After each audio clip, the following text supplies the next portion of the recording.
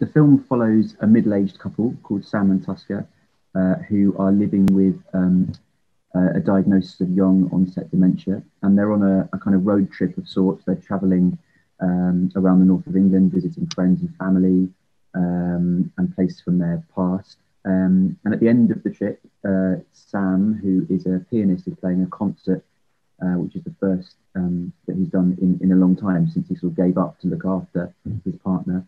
But as the journey progresses, secrets are revealed that challenge their um, their preconceptions of how they might live, um, and their love their love is put to the test um, like never before. So it's a kind of um, challenging, life affirming, hopefully deeply romantic film about what we are willing to do for the people we we love the most. Yeah, but it's it's very much um very much a sort of intimate two hander about these two characters, a, character uh, a character study.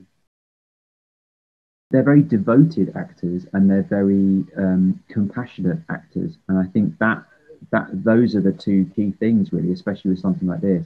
They're also very trusting, um, of, of, you know, in this instance of me. Um, but like everything they do, you, you know, uh, up until now, and hopefully, you know, in this as well, it has such kind of emotional clarity and depth to it. They kind of um, there's there's an intelligence to the way they work, but but everything they do is kind of steeped in empathy, um, and that really matters um, when you're doing something like this because um, you know compassion and empathy is, is, really what they you know the, the job is in this instance. So um, they're great, and I, and I think they are both. Uh, you know, we, we, we, we swapped around a bit initially uh, as to who was going to play which role, which was kind of an amazing process to go through. But what we, you know, what we settled on was something that I think is quite magic because, you know, Stanley, you know, Tusker is a guy who is who is dying, but is so full of life, you know, and and Stanley is a very kind of um, outgoing, funny, gregarious guy, um, and Colin is also that, but um, you know has a definitely has a sort of um, uh, in, in emotional depth to him and a stillness to him. Uh, I think both of those things really you know work well together. They do. Well, it's something that we worked really hard on. Um, in in a way, it's sort of the, the, thing that if you if you don't get right, it, it would really not have um, that the film, you know, probably would have been ruined. I think that's sort of the currency that it's built on. And Stan and, uh, and Colin, as you probably know, have known each other for 20 years. They're, they're really, really close. They're, you know, they're best mates. They love each other. So they've got this shared history al- already. So the, the, the job then was to shape that and to, to sort of pick it up and run with it. Uh, and uh, shape it, you know, into the specifics of the characters uh, and the situation they're in. So that was um, that was the, the job really um, because it's it's already there and it's natural and authentic because because they they you know they are those people who who who are so close you know out of work as well as in work.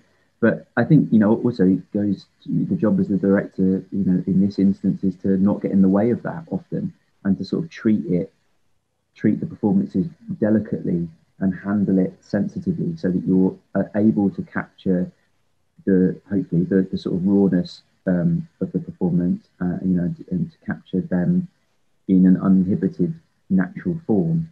Um, so that that was sort of always felt like the job really to sort of not get in, to give them space to perform like that. I think was really important. Making the story involved a, a really intense and long period of um, research and spending time, an enormous amount of time in my case, with people who are living with um, some sort of dementia or terminal illness.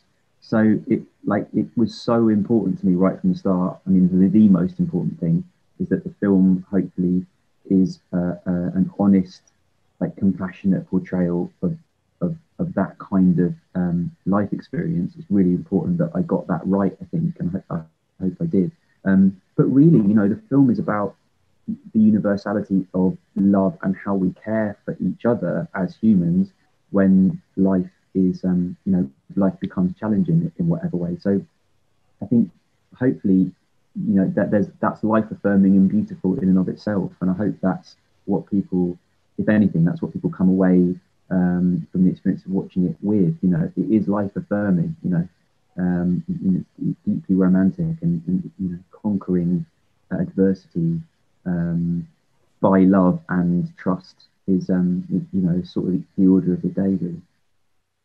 I think what I want people to focus on is the universality of the experience of loving someone. I mean, that really is what the film is about. Um, so I think it's that it has to be that front and center, really. I mean, I, I want to make progressive, forward-thinking work if I can, uh, and it always felt to me that you know if we could frame this particular experience uh, in you know in the context of a same-sex relationship and for that not to impact on the narrative in any way um, felt you know to normalize it essentially felt like a really important thing to do. You know it's not it's a, um, a film about characters that are the same sex that love each other but it's not a coming out film or any of those things. It's just about romantic love at a certain age.